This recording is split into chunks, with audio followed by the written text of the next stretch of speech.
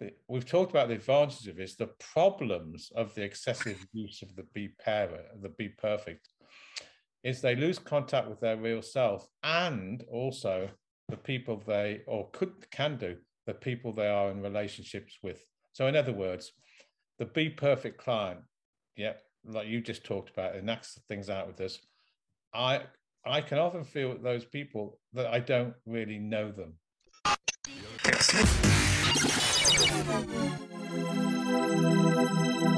We demystify what goes on behind the therapy room door.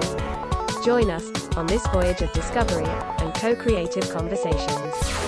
This is The Therapy Show, Behind Closed Doors podcast, with Bob Cooke and Jacci Jones.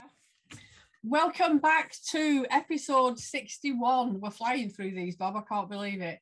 And the topic of tonight is going to be working with the perfect client, which is all about our driver behaviors. We've got five. so, me and Bob are going to be talking about our drivers over the next five episodes. Yeah, five episodes. I was just thinking, number. Did you say number sixty-one? Sixty-one. Gosh, that's that's uh, getting on. My age is seventy-one, so 10 more yeah. get to my age. Right. 10 weeks and we'll be hitting your age. Which is interesting don't you think? Yes yes yes. I mean as as you zoom on as we zoomed on to uh, over 100 uh we'll see how old i am then. Well. But, uh, but the theory you picked is interesting which is five drivers. And uh, the driver theory that you're talking about comes from transaction analysis he does. You and I trained in. And uh, Eric Berne's theory around uh, what he called drivers. And um, driver theory really is mainly about um, what we do in uh, response to our parental uh, commands from our history to get recognition. Yeah. So, the, so what we're going to talk about here is be perfect. But as you're quite correct, there's five drivers uh, um, Berne talked about being perfect, trying hard, hurrying up, being strong, and please other people. So they're all defense systems, and they're all ways that child learns how to get strokes or recognition from the parents because they don't want to, um, you know, go into the don't behaviors, which, uh, sorry, the don't injunctions, which, which we can talk about later. Yeah. Um, but we're going to start with Be Perfect Driver. And from very early age, we start to learn that being perfect pleases our parents, which is an interesting one. And so then we can recognition. And then we carry out those, these drivers, if you like, um, throughout the rest of our life. Um, and Be Perfect is one which is often linked with the obsessive compulsive uh, traits that people have or the obsessive compulsive character. Um, so over to you because you sent me some couple of couple of pages on this, which must come from TA today, I think, uh, which I hastily have didn't have time to read because uh, our son-in-law uh, arrived. But let's start off. So, how do you see driver behaviour then, Jacci? I love driver behaviour. I use it a lot in the therapy room, and I think clients quite like it. it, it it's we've got access to all five of them, but I find that people usually have a couple of default ones that they use more often than the others. But for me, we we kind of it's connected with scripty stuff as well as personality types but it's when we're stressed or overwhelmed or tired or there's something going on for me i think we tend to revert back into that old patterns of behavior. Exactly like you said that we got recognition and strokes for when we were growing up. That's right. So if we're dealing with be perfect i link it into many different personalities but specifically obsessive compulsive yeah. characters who have an internalized parent, uh, which they experience as always judging them, usually negatively. Yeah. And being perfect will quieten the parent, if you like. Yeah. Which resonates with me because I, my part of my personality is obsessive compulsive type. Not that it's a disorder or it's diagnosed or anything, but I do like things to be just so. So my Be Perfect driver pops up quite a lot. In fact, before every podcast, I've got my notebook out. I've got everything down here. I've got the the books that you were referring to earlier on. You can see this if you're watching on the YouTube channel. I like to be organized for things, which, you know, that's my Be Perfect driver coming out. So for me, I know when I was younger, I did get a lot of recognition for maybe not being perfect, but doing a good job. Mm, mm. And when I work with parents, I talk an awful lot about praise for being as well as praise for doing. I think I got a lot of praise for doing good stuff, mm. you know, for achieving at school and being the best that I possibly could rather than just being me. So being perfect is um, impossible. no, it drives you uh, drives your behaviours a lot. Yes, yeah, yeah. Being organised and being good enough and all those sort of things. Mm. See, of course, there's positive parts in that, and of course, the big, the biggest positive part actually is that you're pleasing the parent. Yes. So the parent doesn't negatively um, criticize you. Yeah. Basically, the psychological level, and it's for, and of course, it's got you where you are today in many ways. It has, yeah, and I, I, I, I quite like it. I, you know, I don't think I'd change it when you say for pleasing the parents, I think it's it's you know interesting or important maybe to remember that we're talking about our internal parents. Often oh, yeah. as adults, yeah. it's mm-hmm. not our actual parent that we're trying to please. It's the internal dialogue that we have going on a lot of the time. Well, yes. So I'll say a little bit more about that. What I think. Uh, yes, psychologically, that's that's correct, and I'm glad you said that because Many of the clients that come in the room, of course, the parents have died or are not there or absent or whichever way to look at it. But of course, many parents are still alive. Yeah. So, yes, we're pleasing our internal parents. You're correct. And also, um, it's maybe enacted out with the real parents. Yes. Yeah it is with mine all the time. I can give you lots of things where my mum has been quite judgmental or critical on me because I've not come up to to standard or her standards, maybe. Yeah. Mm. So the positive parts are that it gets us by in the world and gives us the strokes, like we've just said. And also in your case and many other people's cases, positive parts that they are quite comfortable with because it's meant they're successful in life. Yes. Yeah. Hmm. Okay, but and and often, um, though I think that way clinically, I think more about how the Be Perfect may inhibit, you know, Be Perfect driver behavior yeah. may inhibit the actual sense of being with the client, and so that under stress, being perfect becomes the major goal, and in that they may lose contact with other people. Yeah. Yeah and I, I think in the therapy room it does play out quite a lot with the client as well. Not wanting to get it wrong and you know doing therapy right is there a right way to oh, do therapy yeah, and things like yeah. that that come up in the therapy room? Yeah yeah absolutely. And the problem is yes let's start again. That gets enacted out in the therapy room yeah. Um, it's also played out in real life in relationships yeah. and uh, friendships, etc., etc. Now, the, we've talked about the advantages of this. The problems of the excessive use of the be pair, the be perfect, is they lose contact with their real self and also the people they or could can do the people they are in relationships with. So, in other words, the be perfect client, yeah, like you just talked about, and that's things out with us. I I can often feel with those people that I don't really know them. Yeah.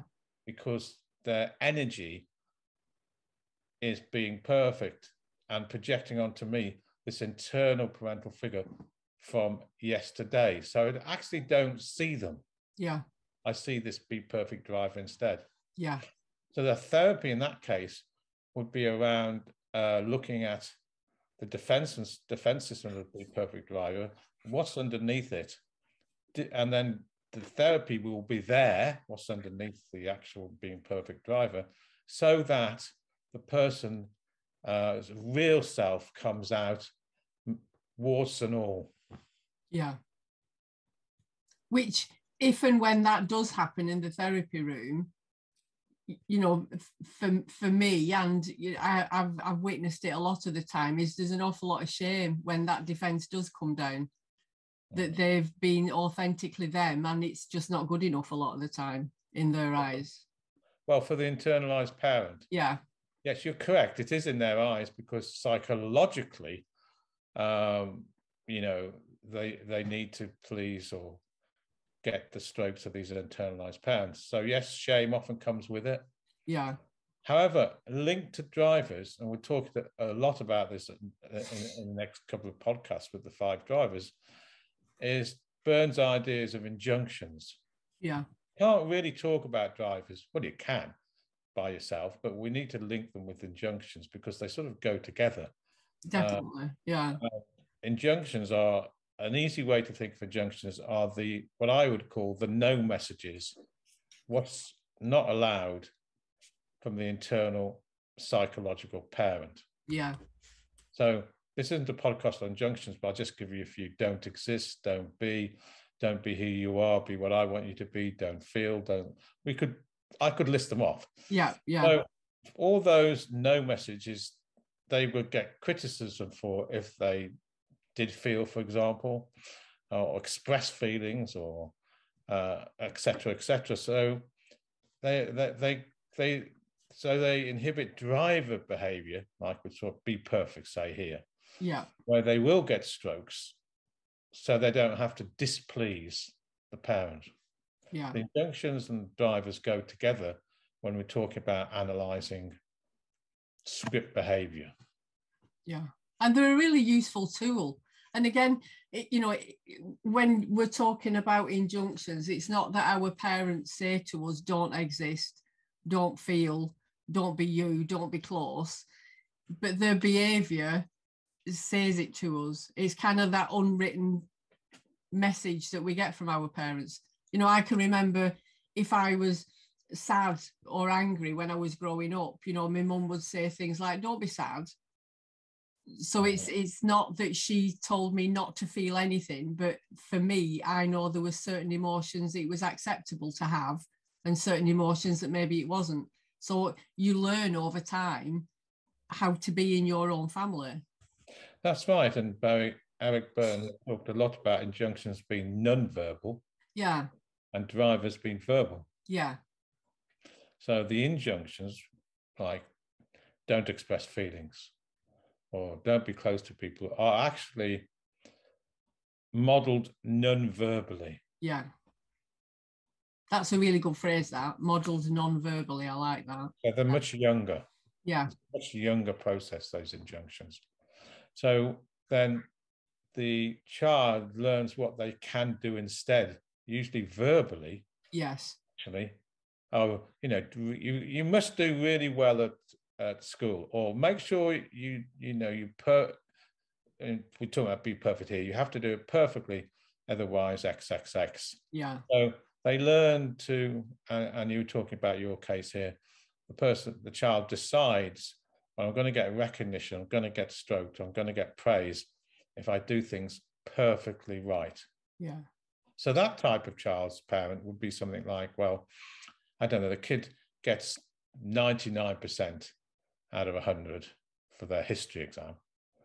And when they come home, and, you know, if I was just thinking if my daughter had done that, there'll be a lot of praise. But the sort of parent we're talking about here, they come home and the father or the mother or the internalized parent says, well, that's okay, but whatever, what happened to the other 1%?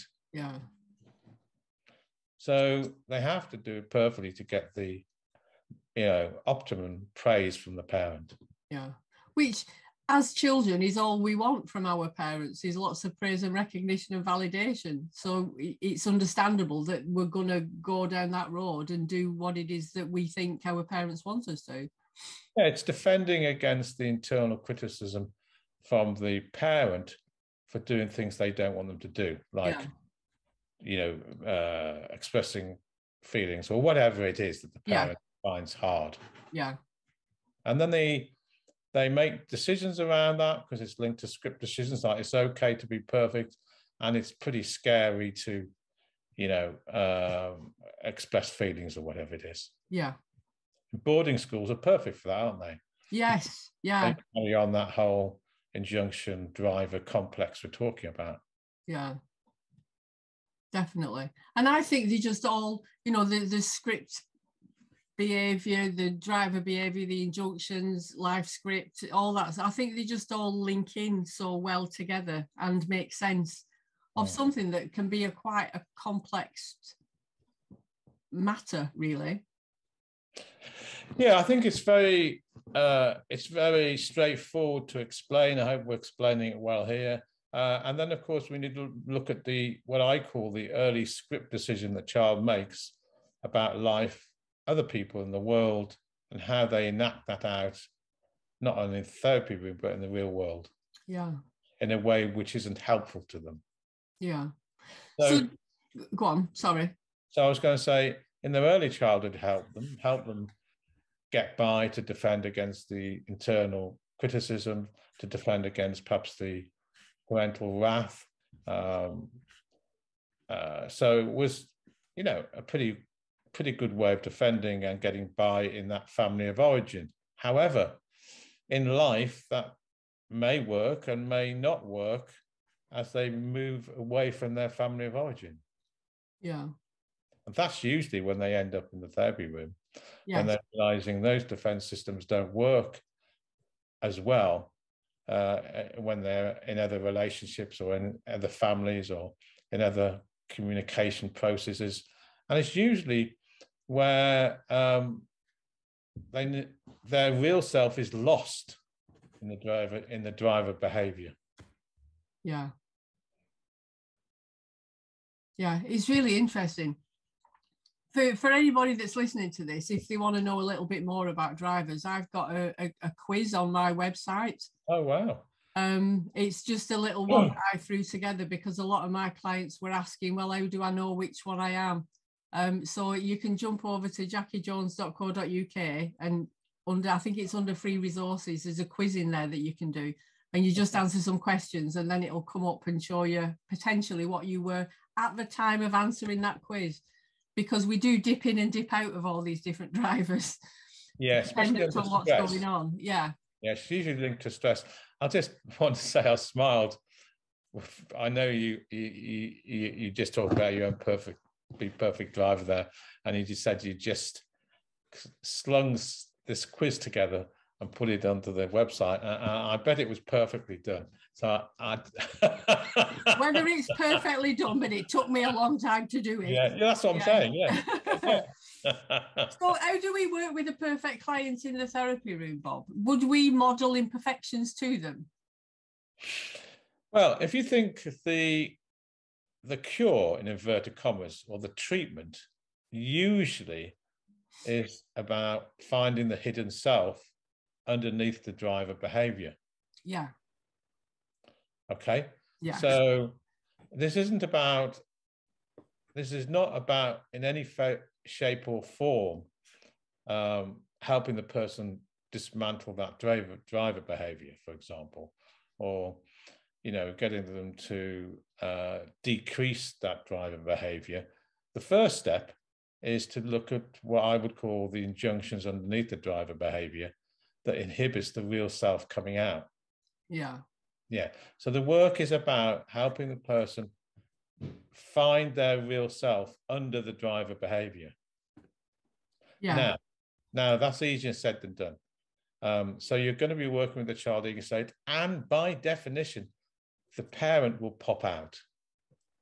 Because the internalized parent, 10 to 1, will not like the person, um, you know, uh, not not being perfect anymore or having you know accessing their own spontaneity or expressing feelings or whatever it is because um, that's not what they uh, they're scripted to do so you will be facing the internalized parent so quite often uh, this is later in treatment once you've actually got the relationship with the client and understand the problem, you will do action, what I call action actionistic techniques, where we where you will ask the client to role play dialogue with that internalized parent, which wanted them to follow that driver behavior so intensely.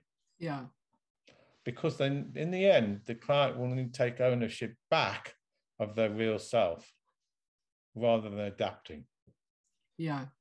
And that's a slow process. It's not going to happen in one session. No, no, no, no. We'll talk about because first of all, you've got to get to know the client, you've got to get to know the problem, you've got to understand the driver behavior, you've got to look at the defenses, you've got to understand the injunctions underneath all that before um, you can give permissions for the client to be different. Now, once you start giving permissions for the client to be different, the 10 to 1 that is when the internalized parent will come out.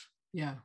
And things will happen like the client will come back and say, you know, since I since you gave me permissions to express feelings, or I gave myself permission to express feelings, I felt worse.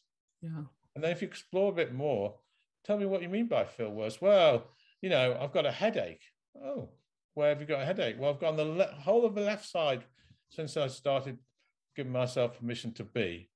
Uh, okay, and and as we reflect on that, uh, were you hearing any cognition at the same time? Yes, I started to tell myself off for doing this and it doesn't work and I'm no good. And actually, and then we start to discover, and we, we might discover, discover that the parent back in history used to maybe hit the child on the left hand side when they weren't being perfect.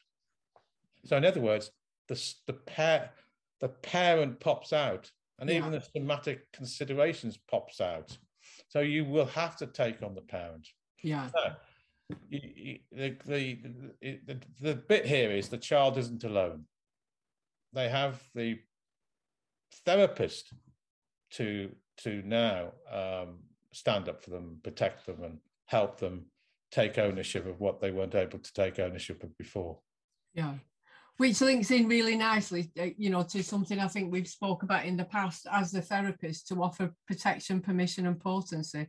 Mm. That's the time where we need to be more potent than the the internal parent.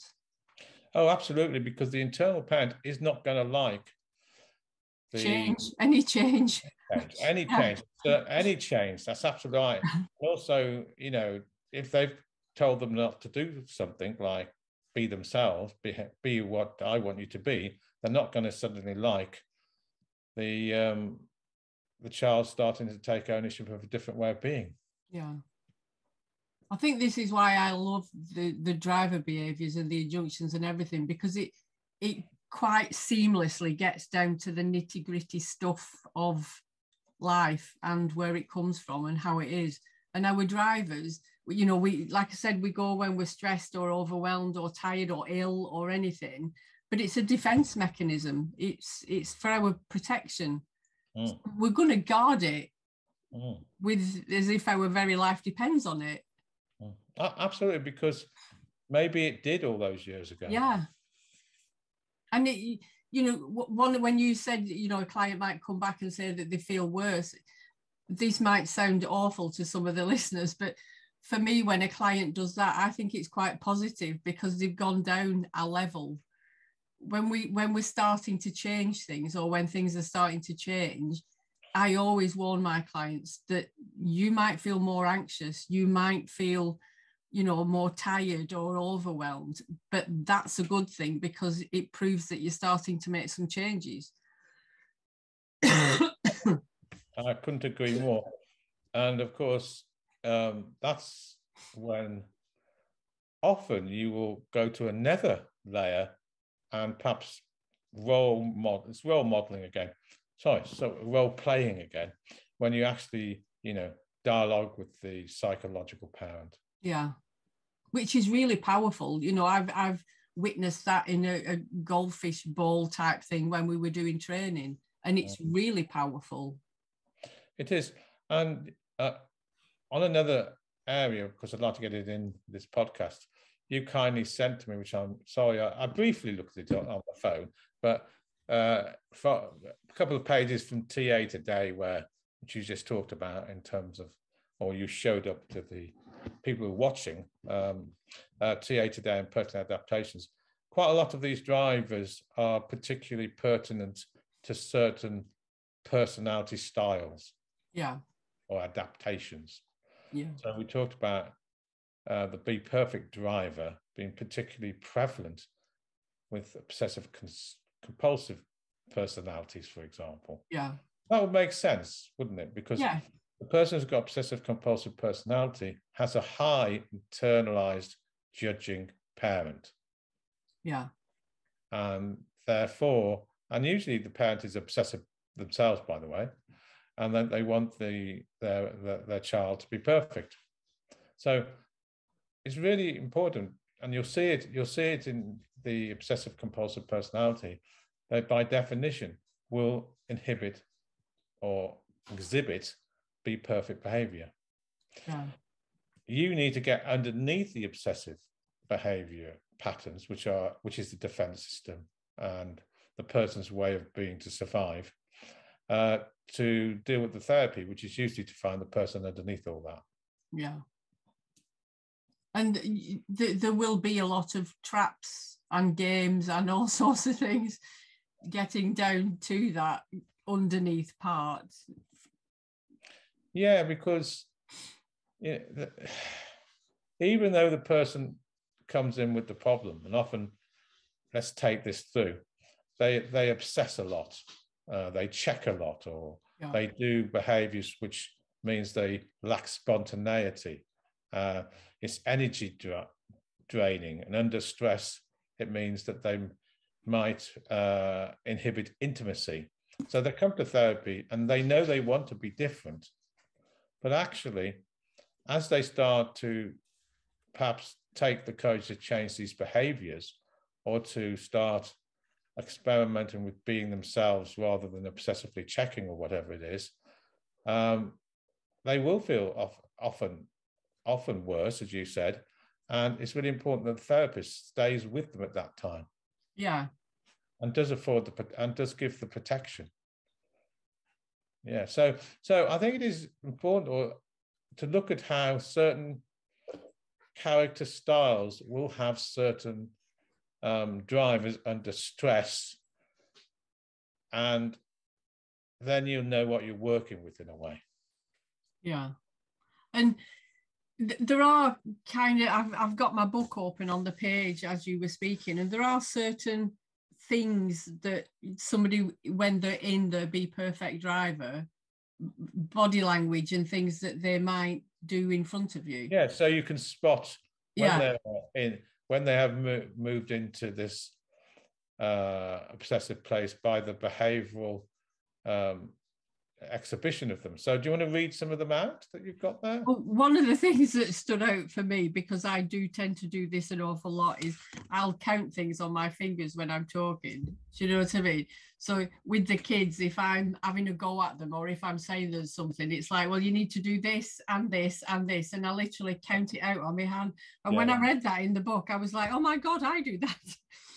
so, it's it's it's interesting some of the actual behaviors that we have that are connected to this that I didn't even realize was a thing until I started training in transactional analysis. Yeah, and in the training, you'd be taught to look for those behaviors. Yeah. Uh, which indicate a shift in ego states, for example. Uh, but that checking off that you talked about is very common uh, to the be perfect. And again, it's pleasing the parent. Yeah. Yeah. And it, I think that is very parental anyway mm. when I do it. Mm, mm. You know, the the ticking things off or the counting or whatever. Whether that's because it was probably done to me at some point in the past by a parent figure or mm-hmm. or not, I don't know. But it, you know, if you think about somebody that is trying their best to, to be perfect, they're they're usually upright, standing and sitting. You know, they sit with their legs in a certain position properly on the chair and literally everything about them will try to project perfection outwardly. Yeah. Absolutely. And it's in in real life it's very draining. Yeah. And as I said, when you're a child, maybe you had to follow these driver behaviors for survival reasons. They often don't help at all when they're in the real world away from the childhood uh, or, or, the parents and they they inhibit intimacy for example. Yeah. Uh, and it's you know it's, it, it, it, they inhibit the spontaneity. Yeah. They, inhibit a person expressing feelings in many ways because they're always obsessing if they're doing it the right way yeah. example. Um, so these are the therapy things that people will come with. Uh, when they're feeling that they have to be perfect all the time. And the other thing, of course, high anxiety often comes with the Be Perfect Driver because you can't be perfect. No. You're always setting yourself up to fail if you attempt to be perfect. Now, I know it's a way that people, the, the kids survive to get on to please the parent, but in the real world, it's impossible. It is. So with it comes high anxiety because they're always attempting to be perfect and never can be. Which is a bit of a bugger, Bob. yeah, it brings high anxiety. It does, it does, yeah. And you can see that in the client. You know, the, for me, the be perfect client that I would see in the therapy room, as well as the body language and how they're sitting, would be constantly checking in whether everything's okay, whether they got it right. Is there anything I need to do? You know, some clients will even ask for homework in between sessions so that they can prove that they're paying attention and getting it right and doing everything they should do. Mm. It's it's all those extra little things that they put on themselves that cause that stress and anxiety. That's absolutely.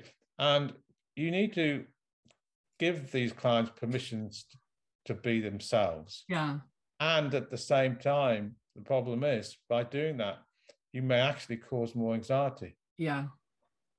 So you, you have to eventually take on the parent and you have, and you know, you don't stop giving permission, but you may explore what happens when you give the permission. Yeah. Oh, the client said, oh, you're just saying that really. Or you're just trying to trick me, or you don't really believe that, or or even when I do try to follow those permissions, I don't feel well afterwards. So, you know, you know, all I hear is a critical parent. So it's all very difficult. So it's all right for you to say, give myself permissions, but it's a very uncomfortable process. So yeah. these are the sort of conversations which will happen when you're when you're on the road to uh, help the client feel more spontaneous or be themselves or uh, be feeling okay in relationships. These are the sort of processes that will occur. It's amazing. It's just another another part of transactional analysis that I absolutely love. Well, I think it's it's a useful piece of theory because you'll see it all the time that people follow the driver behavior so they can survive as a child and and don't you know cause difficulty from their parents and also to defend against you know uh, getting in touch with the negative processes that comes if the if the therapist is sorry if the parent is evoked yeah. The problem as i said comes before uh, if they start enacting that out in the real life which they will do. Yeah. Inevitably they will do it. Yeah yeah. Now yeah. of course if you did go on ta training you're taught to look for the signs that go with a be perfect driver so that you can spot when they're in that place and or that ego state. Yeah. and of course that's what you started to read out in the book. And i think one of the biggest clues is what you've just said is the client looks or looks as if they're perfect. Yeah. So there's no flexibility in their face muscles. They're very rigid in the way they sit. Um, they're, they are just attempting to do everything right. And another way of uh, knowing this, but this is through inquiry about cognition, is they're very black and white thinking. Yes. They have to be perfect. So it's right or it's wrong. Yeah. The middle ground is a very uncomfortable place yeah, to be yeah. with somebody in a be perfect. yeah. yeah. Very, very uncomfortable. Yeah. They have to be right or they have to be wrong. Yeah. And uh, and the other thing about the countertransference in this I well, the process in this, of course, is that they will project onto you all the time that they have to be perfect. Otherwise, they're going to suffer punishment. Yeah. And I think that's one of the things, obviously, you know, quite far down the line of working with the client. It's not something that I would do in the early days, but is to model imperfections to them. Give me an example of that. Um, if you can. I, I'm, I'm very dubious about doing this because it's not something that I would recommend for all people to do. But to just get it wrong in the session and notice yourself getting it wrong in the session, whether it's a word that I trip up on or whether I contradict myself in something, but actually modeling the fact that it's okay to get it wrong in the therapy room. Oh, I see. But I, not. I think, I think, it needs to be followed up, Jacci. But I, that's why I wondered what you did clinically. So, uh, so I think this is what you're saying. So I'm dyslexic, so I often say things the wrong way around, like you know, park arcs instead of car parks or whatever. Yeah. So here's an example. So you know maybe maybe i would choose to do this clinically in the way that you're talking about so i mix my words up for example and then you know the client smiles at that and i say something how how is that because it's i know it's really important for you that maybe i'm perfect for you yeah so i think this needs to be linked in with phenomenological inquiry yes. to find out what's happening in the client's world yeah. When they experience that they're just not being the perfect person for them. Yeah. Or you, my sense of humor often plays out, you know, putting odd socks on. Yes, that sort of stuff. Things like that. You know, I'm not talking cri- being critical of the client in any way, but letting them see me not being perfect 100% yeah. of the time. Yeah. Yeah. And I remember, okay with it. No, I remember clinical. This is a clinical example, which I did. So, um, so I was working with a obsessive somebody, and it quite a big disorder, really. We'll say traits high, maybe heading towards disorder, where I had, you know, I knew that I had to be perfect for from all the things we're talking about here, and he had to be perfect himself, so he had to escape the wrath of the parent, and all those sorts of things. So after after a while, and you're right, timing is key. So you need to have the relationship, you need to lot of this work to be able to actually go to a place what I'm going to say now. So in my room back then, I had big long settees. So you've been in my training room, and I used to work at the end of my career in the big training room at the institute, and they the, the, the room was full of settees. So anyway, so he would sit on one settee, I'd sit on the other settee, and this is conscious thought. What I'm going to say to you now, and uh, I decided one day, well, I'm going to do exactly what you just said. I'm going to, and I quite like this because my, I haven't got much of a driver in being perfect, by the way. I've got other drivers, but I quite like I quite like what I did. So I decided I'm going to lie down on the settee. I'll do therapy with me lying down. And that freaked him out. and anyway, so yeah, exactly. So he started, what are you lying down for? you should be sitting up. You're always sitting up. You know, therapy should sit up, or at least you're always sitting up. And I, then I think I said, and this is what I mean by about inquiring. You say, oh, so it's really important that I get it right for you. And is that how it was with your dad with you? Yeah. So you make you need to do make it to make connection. Yeah. I think you have to make a connection as well. Definitely. I love that, Bob. I can see you doing that. Yeah. yeah. and we and as he started to realize all this, I said, "Is it okay if I continue for the next five or ten sessions doing therapy this way?" Which we did. And at the end, he was lying down on the city as well. Love so it. Both of us. Love it. A while did therapy where we were both lying down that that's exactly what I mean when I say challenging certain behaviours. But yeah. you've got to have the relationship with the, the client oh, in the yeah. first place. Yeah.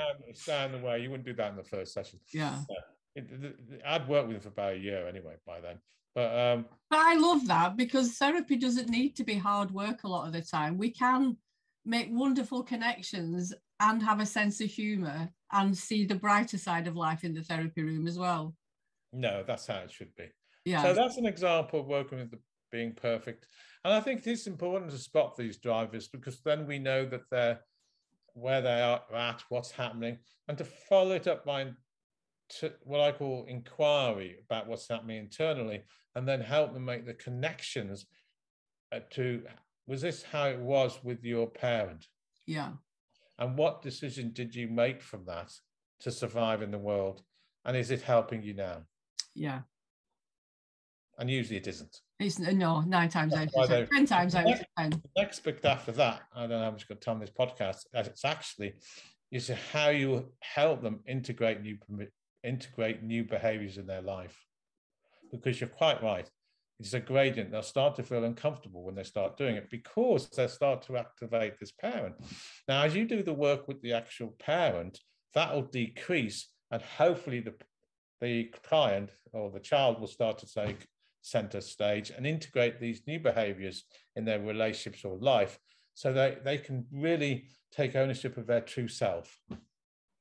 which you know i think that's really good because we're going to be talking about driver behaviors for the next you know three or four sessions of podcasts or whatever so we can touch more on that in the next one. So i really enjoyed this one bob. So what we're going to be doing on the next one is uh, try hard. Yeah, and I hope for the listener's sake uh, to know that uh, this podcast won't have been perfect, but hey ho, uh, it's enough, I hope. 100% i'm with you i'm sure our podcasts are never perfect Bob. until the next time Okay. speak soon Yeah, until next time. Bye-bye. Bye. bye You've been listening to The Therapy Show, Behind Closed Doors podcast. We hope you enjoyed the show. Don't forget to subscribe and leave us a review. We'll be back next week with another episode.